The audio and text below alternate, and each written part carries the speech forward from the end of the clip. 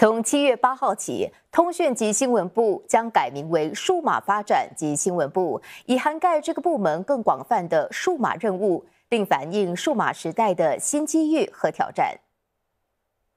通讯及新闻部长杨立明在社交媒体 Facebook 贴文表示，数码化进程近年来已成为国家议程中越来越重要的组成部分，因此更名别具意义，且合时宜。数码发展及新闻部将强化我国的数码经济以及数码社会中的其他关键领域，例如数码韧性与包容性。部门也将监督网络安全，并监管数码基础设施、数据保护和线上内容，同时推动数码科技的发展与应用，包括政府服务数码化。这个部门也将继续监督信息通信政策与策略，并协调媒体发展和公共传播工作。